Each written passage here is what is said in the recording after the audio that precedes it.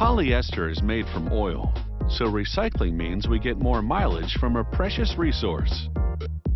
They convert polyester manufacturing waste on the left and plastic bottles into chip form. Pulses of hot air toss the chips, giving them hard shells. They go through a dryer to get rid of moisture that would weaken the final product. A worm screw moves the chips through heated pipes, which melt them into a thick liquid.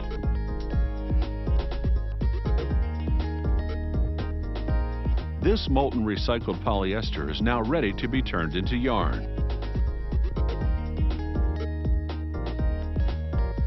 It will be pressed through this die plate that looks a lot like a shower head. It's part of a device called the Spin Pack, which also includes a mesh filter, a metal distribution plate, and bits of shattered metal for extra filtration. They preheat the pack so the polyester won't harden as it flows through it.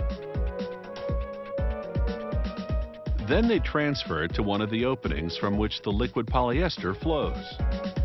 68 tiny holes in each disc shape the recycled polyester into filaments.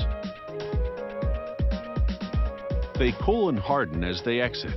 Each one is five times finer than a single human hair.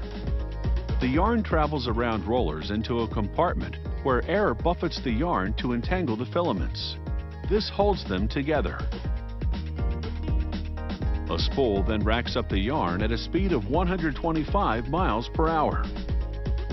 At this point, the yarn is stiff like dental floss, but that's about to change. This machinery pulls the polyester yarn over heated rubber rollers.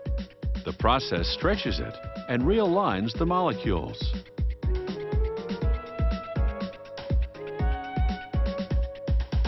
More equipment twists it, and then it's taken up by automated spools.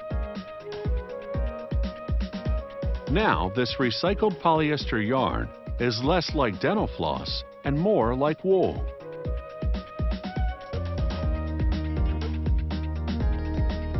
From plastic bottles and manufacturing waste to polyester yarn, this transformation has taken just a couple of weeks.